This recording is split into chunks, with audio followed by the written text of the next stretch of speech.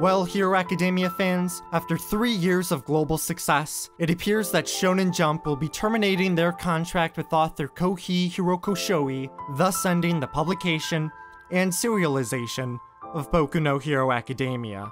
In this Reddit post by X Asumuo X, he explains that Shonen Jump likes to cancel their series. The chapter list I found on the Boku no Hero Wikipedia ends at chapter 145, Red Riot 2. Apparently, controversy surrounding this Red Riot character and many Native Americans living within Japan led to Jump swiftly pulling the plug on the series before facing legal ramifications from those red-skinned crybabies. Even worse, viewership for the new season continues to decline.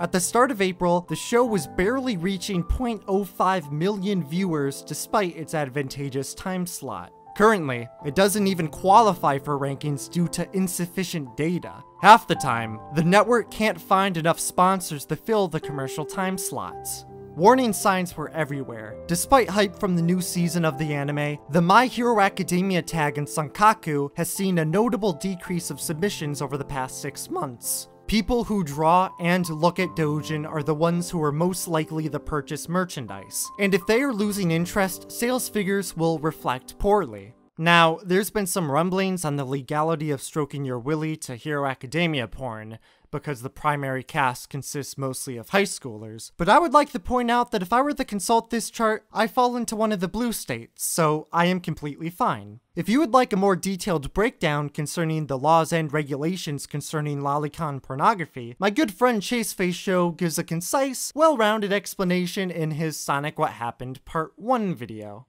If Shonen Jump had any foresight, the downfall of Hero Academia could have been predicted as early as Chapter 1. The superhero subgenre has seen huge growth over the past decade to the point where summer blockbusters have fallen to the cinematic universe model of filmmaking.